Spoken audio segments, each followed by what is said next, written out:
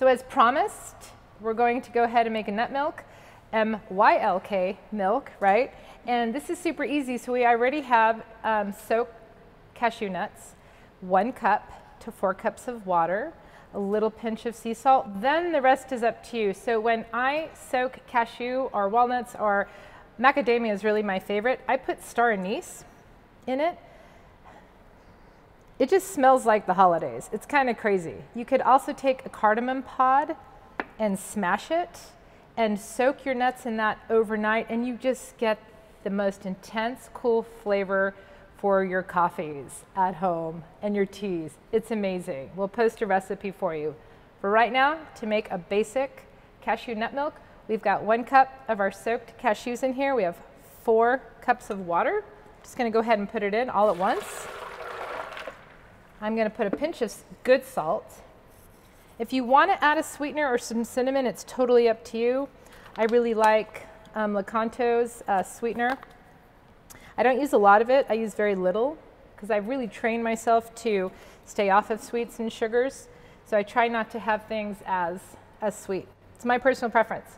Okay, so we have a little bit of cinnamon in there too. And again, you just want to blend at a really high speed. You'll see it come together in the blender. And then we're going to strain it. You, there's also nut bags you can, you can buy online, or I think Organic Roots has them as well. And you can strain the milk that way. All right, here we go.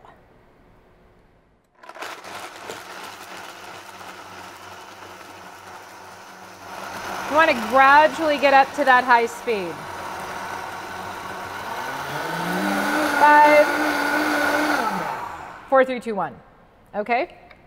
So look at look at that. Am I getting it, guys? Oh my gosh. So awesome. I I love fresh made nut milks. It's one of my absolute favorite things. It's so great in cereal too. So one of the things that you need to remember is that this only lasts for about four days. Day three, good. Day four, you gotta be really careful. So don't make huge batches. The thing with, with almonds, you're gonna see a ton of pulp. Cashews, you're not gonna see a ton of pulp. We really don't have any, as you can see. All right. Now, I, um, I will tell you that when you have that pulp from your almonds and, and your walnuts, keep it, put it in the freezer. You can make biscuits with it.